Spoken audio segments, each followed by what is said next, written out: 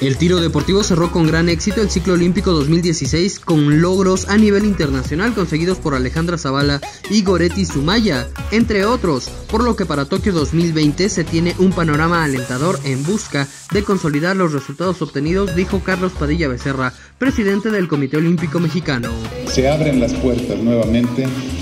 a esta federación que históricamente le ha dado no solo satisfacciones, sino motivos de orgullo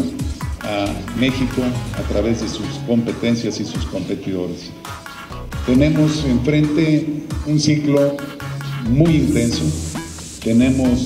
un compromiso muy grande y tenemos lo más importante, tenemos grandes tiradores y tiradoras que nos obligan a buscar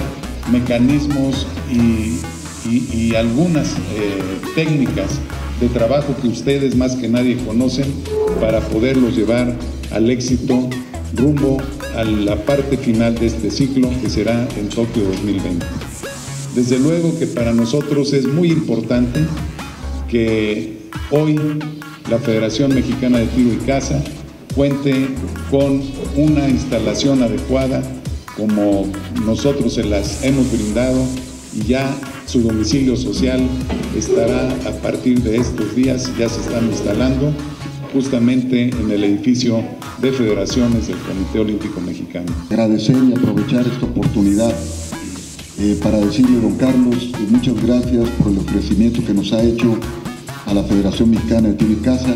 y anunciarles a todos ustedes que a partir de este mes